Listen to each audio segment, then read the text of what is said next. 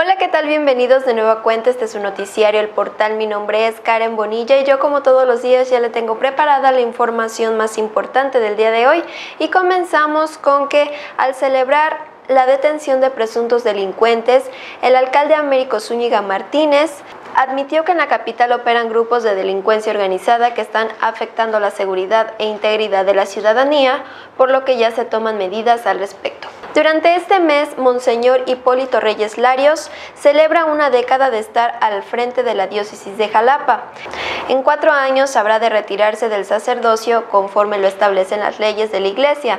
En este tiempo se han mostrado como una de las voces críticas ante cualquier situación que atente con la paz social y sus valores, aseveró el vocero de esta arquidiócesis, José Manuel Suazo Reyes. El doctor Roberto Ramos Alor dejó la dirección general del Hospital Regional Valentín Gómez Farías, ubicado en la ciudad de Coatzacoalcos. Su salida fue confirmada por la jefa de la jurisdicción sanitaria número 11, Lourdes Barrera Jiménez. Veracruz sigue siendo el estado con más secuestros, registró el mayor número de secuestros en el país. Sé que esto no le gusta al gobernador Yunes Linares, pero pues son los números y es la realidad, afirmó la presidenta de Alto al secuestro Isabel Miranda de Wallace. Así como en otros municipios del estado, la violencia también se ha desatado en esta zona. Prueba de ello es que en las primeras horas de este miércoles un grupo de sujetos armados ejecutaron a una mujer sobre el boulevard Manuel Ávila Camacho. Un hombre fue asesinado a balazos en el municipio de Cozoleacaque y otro fue baleado en Anchital, al sur de la entidad. El homicidio ocurrió en la colonia Las Rosas, que se encuentra en el camino que va de Cerro Alto al poblado El Naranjito. Otro caso ocurrió durante la noche del martes en Anchital. La víctima fue identificada como Armando Carrasco. Paramédicos de la Cruz Roja Mexicana trasladaron al herido a un hospital de Coatzacoalcos. La magistrada Concepción Flores Saviaga denunció que el Consejo de Judicatura presidido por el magistrado Humberto Álvarez Peña, ha designado jueces sin experiencia ni perfil necesario para desempeñar el cargo en los sistemas penal, laboral y familiar. El Contralor General del Estado, Tomás Alfonso Figueroa Piñera, dijo que aun cuando concluya un ejercicio fiscal, en algunos casos sí aplica dar continuidad a obras pendientes con recursos programados del año siguiente. La titular del Servicio Nacional de Empleo, la licenciada Silvia Mota Herrera, reconoció que se ha trabajado con empresas de Estados Unidos y Canadá para contratar mano de obra para sus países.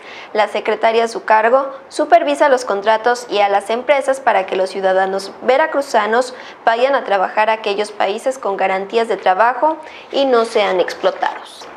El presidente municipal electo de Songolica Juan Carlos Mesua Campos, denunció que no hay voluntad de ninguna instancia de gobierno ni el del Poder Legislativo por poner en marcha acciones que ayuden a combatir la violencia de género en el Estado, tema muy presente en su región.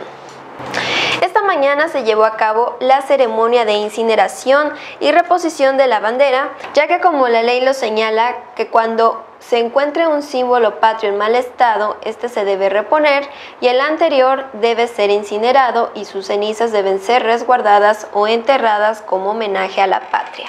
Dos personas resultaron lesionadas tras la volcadura de un vehículo en la carretera transísmica. El vehículo que terminó destrozado al dar algunas volteretas en el pavimento es un Chevrolet Spark de color blanco que lleva placas del estado de Veracruz. La familia Solano denunció el robo de su vehículo que estaba estacionado en pleno centro del municipio de Gilotepec.